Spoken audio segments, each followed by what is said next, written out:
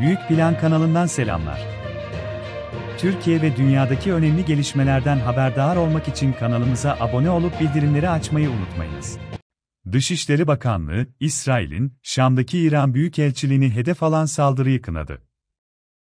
Dışişleri Bakanlığı'ndan yapılan açıklamada, İsrail ve İran'a çağrı yapıldı.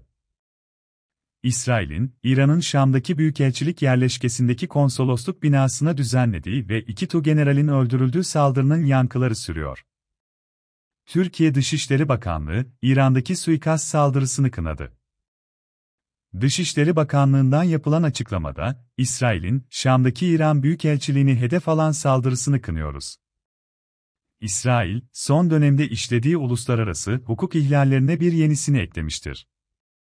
Söz konusu eylemin, tüm bölgeyi etkileyecek bir çatışmaya dönüşmesinden endişe duyuyoruz. İlgili tüm tarafları, sağduyulu ve itidalli hareket etmeye ve uluslararası hukuka riayet etmeye davet ediyoruz, denildi.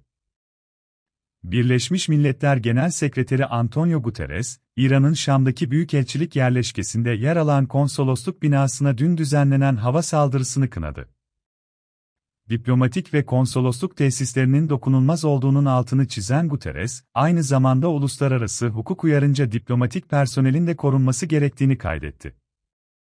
Guterres, tüm taraflara uluslararası hukuk uyarınca yükümlülüklerine uyma zorunluluğunu hatırlatarak, sivil ve sivil altyapılara yönelik saldırıların önlenmesi gerektiğini ifade etti.